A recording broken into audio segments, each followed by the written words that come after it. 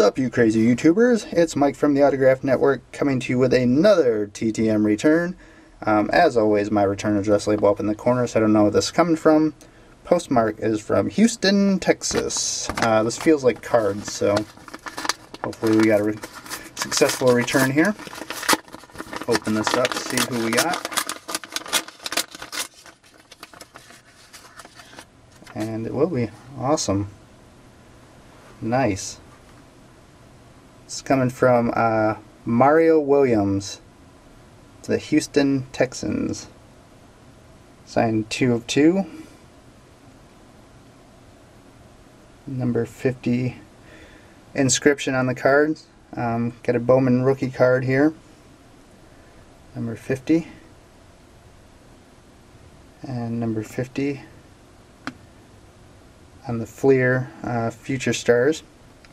Sorry, I was just comparing the two. Um, I thought at first they might be stamped because there's a little bit of smudging on this, but uh, they're definitely different signatures. You can tell the, the length of the M on the Mario is different. So is the, uh, the looping. So um, these look like authentic signatures. Very cool. So let's see how long that took. Nice uh, in-season return from a Houston Texan. Uh, he was the number one draft pick in 2006, de defensive end for the Houston Texan.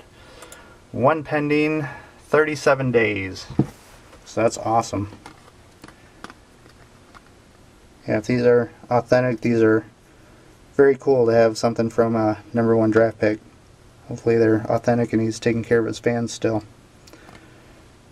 So 37 days sent in care of the uh, the Houston Texans. I'll put the address on the uh, website. So go check that out. Alright guys.